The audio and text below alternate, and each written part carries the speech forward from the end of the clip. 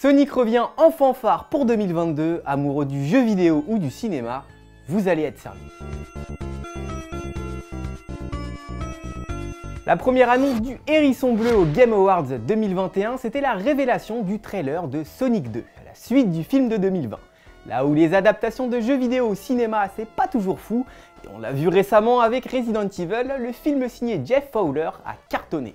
Parle quand même de 53 millions de dollars de recettes en seulement une journée. C'est tout simplement le meilleur démarrage pour une adaptation de jeux vidéo au cinéma de tous les temps. Pourtant, le film partait pas très bien. On se rappelle des vagues de moqueries lors du reveal du design de Sonic, mais Paramount a rapidement corrigé le tir en proposant une nouvelle version du hérisson bleu, plus fidèle au jeu.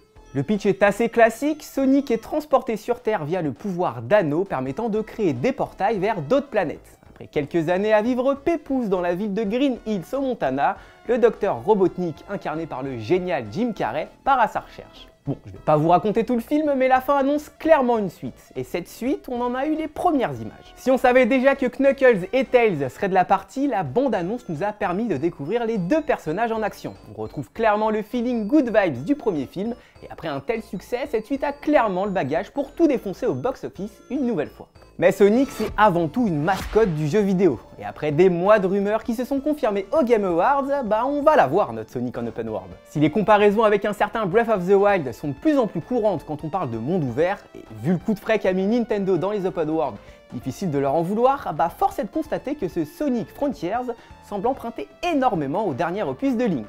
Déjà dans la construction de son trailer. Dans les deux cas, on a une succession de plans présentant les différents environnements du monde ouvert. Mais on a aussi ce fameux passage où les deux héros surplombent une falaise justement pour mettre en avant l'open world. Les environnements se ressemblent aussi pas mal. Alors ok, on n'est pas sur du cel shading dans le cas de Sonic, mais on a encore une fois droit aux grandes plaines vertes, aux zones montagneuses ou encore aux ruines de ce qui pourrait être une ancienne civilisation. Un peu comme les Shake Breath of the Wild. Mais ça s'arrête pas là, on a aussi des grandes tours d'observation qui seront sans nul doute là pour dévoiler les différentes zones de la carte. D'accord, c'est une mécanique qui date pas d'hier et qu'on doit plutôt à Ubisoft, mais faut avouer que le design emprunte vachement au jeu de lancement de la Switch quand même. Autre détail, le trailer semble montrer qu'une mystérieuse voix parle directement à Sonic dans son esprit. Encore, difficile de ne pas penser à Breath of the Wild avec Zelda qui nous guide au début du jeu à notre réveil dans le plateau du prélude. Certains pourraient penser à un manque d'innovation de la part de la Sonic Team, mais la vérité c'est que, on l'a déjà dit, Breath of the Wild est celui qui a révolutionné la construction de l'open world et de l'interaction du joueur avec celui-ci. C'est tout à fait logique que le studio ait été chercher des inspirations de ce côté. Avec autant d'annonces, Sega veut clairement faire revenir le hérisson bleu dans le cœur des joueurs. Ça fait quelques mois que l'éditeur s'active déjà avec des partenariats dans le jeu vidéo en tout genre, comme pour nous dire hé les gars, regardez, on n'est pas mort. Évidemment, c'est surtout le film de 2020 qui a relancé la hype, mais en l'espace d'un an, la mascotte de Sega, qui était très discrète sur nos consoles, a eu droit à beaucoup d'annonces. Déjà, on a eu le droit à Sonic Colors Ultimate en septembre dernier, un remaster du jeu de 2010 de la Wii qui propose notamment un gameplay retravaillé et quelques nouvelles nouveautés.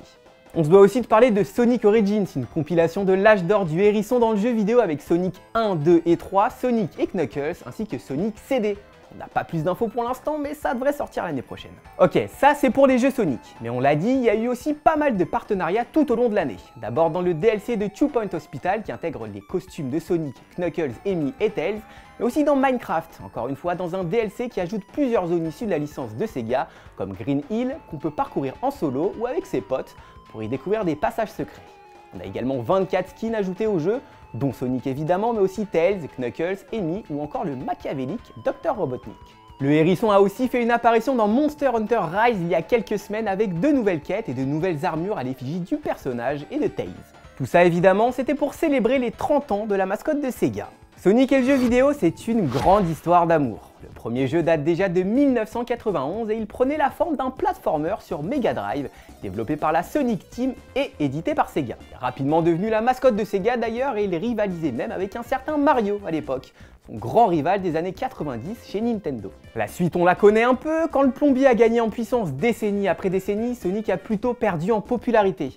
À l'image de Sega d'ailleurs, qui a arrêté de proposer des consoles après la Dreamcast en 1998, se concentrant plutôt sur la fabrication de bornes et systèmes d'arcade.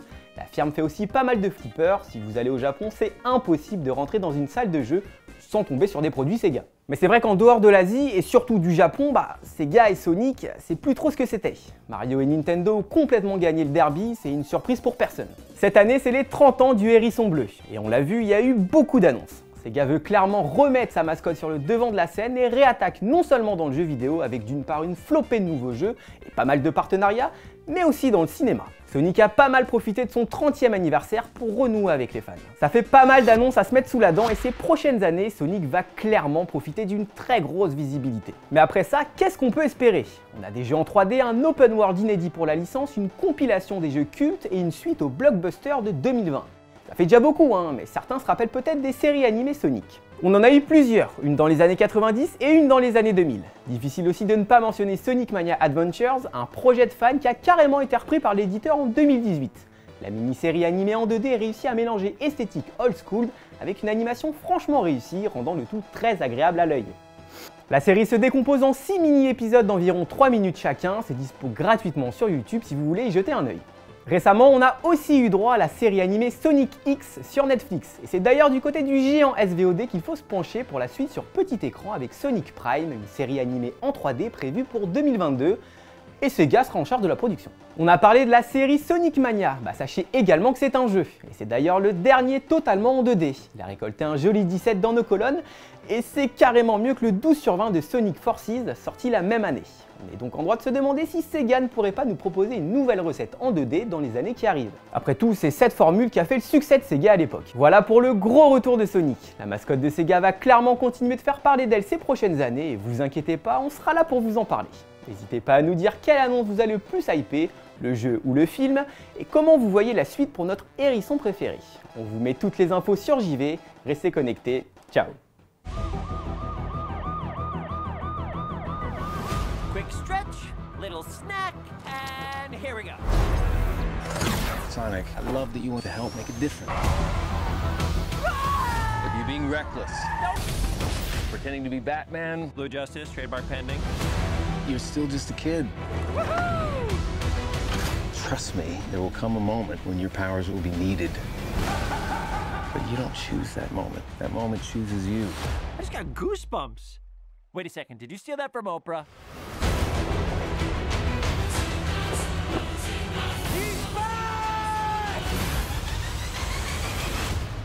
Papa's got a brand new stash. Since I've been gone, I've discovered the source of ultimate power. That sounds big. It's been on my vision board for years. Hope I'm not too late. I'm sorry, who are you? Name's Tails. Okay, this is what we're gonna do. Step one, light taunting. Step two, I have no idea. You're never going to get my power.